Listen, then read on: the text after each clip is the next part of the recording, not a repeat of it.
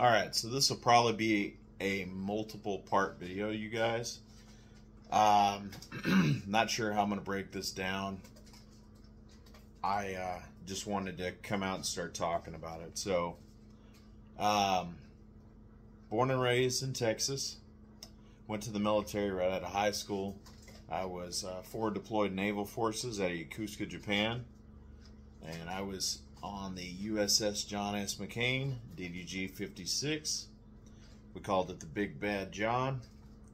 And uh, I was there from 09, sorry, 2010.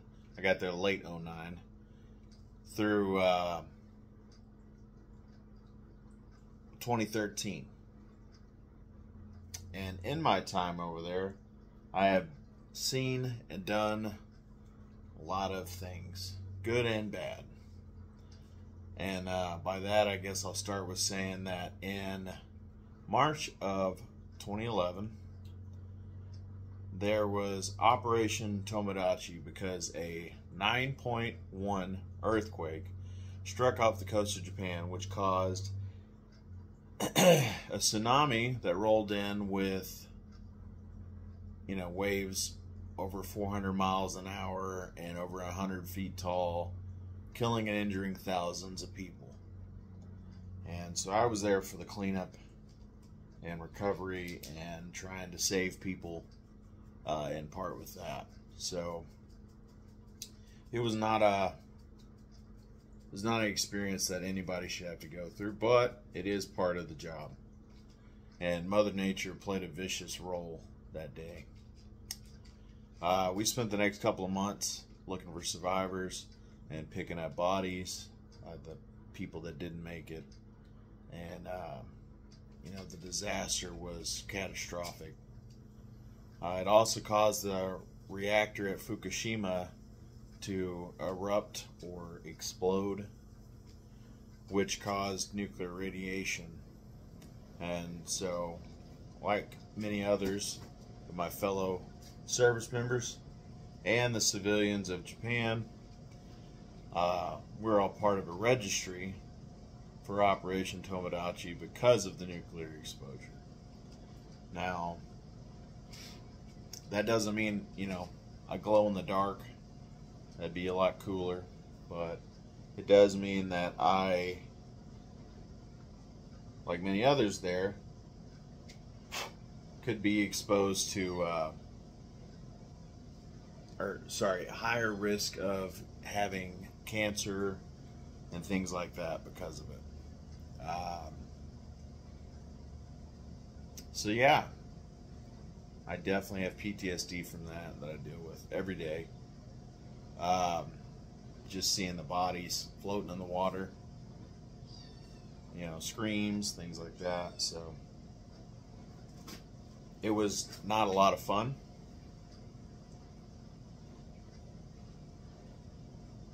and uh, yeah. I also received a Navy Achievement Medal, uh, along with several other medals and stuff when I was in, and this one was for saving my ship during a combat fuel fire that happened uh, about 300 miles off the coast of China, I think, is where we were.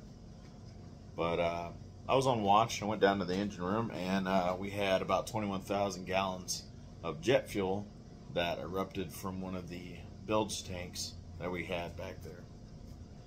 And uh, I spent probably two hours trying to put that out and contain that with uh, AFFF, which is aqueous force filling foam. And uh, which is also cancerous, as we know now. But, uh, yeah. So that's just a little backstory about my time in the military, about PTSD. And uh, I wear this bracelet every day because 22 veterans take their life from PTSD every day. They commit suicide because they can't deal with it. And so, if you're a veteran, if you're watching this, or you know a veteran that is watching this, um, please reach out to me. And if I can help in any way, I sure will. Just somebody to talk to. Or I can point you in the right direction for further assistance if you haven't already found that. Because I know what it's like to not want to talk about that. It took me a lot of years to finally talk about it openly. And uh, yeah, you're not alone. We're here. You know, just like I had your back in the military, I got your back now. It never changes. My oath never expires. Um, I think I'm going to cut this off at the at just the military experience for this video. In the next video, I can talk about some other things like my traumatic brain injury and my journey into strongman and how all that went. And uh, yeah, we can talk about some other things. But if you have any questions, comments, or concerns, feel free to leave a comment down below. Like and subscribe to the channel if you haven't already, because I certainly appreciate it. And it just helps me, you know, get more videos out there and get more views uh, so that people may see this. And uh,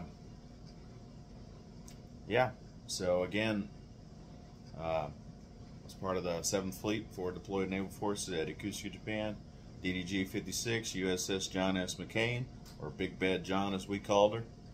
And uh, yeah, PTSD sucks, but you're not alone. And on that note, you don't have to be in the military to have PTSD. I mean, you can have PTSD from anything.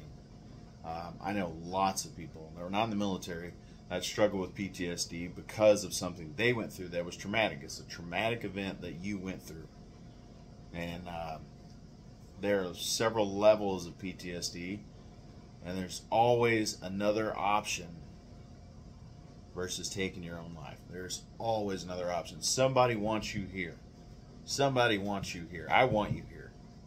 So don't do anything stupid. Reach out to somebody to talk to somebody. Leave me a comment. Talk to me. You know, I can point you in the right direction again if you need further help. But uh, yeah, so I'm going to cut that off here. I hope you guys are having a really good day, and I will check you later.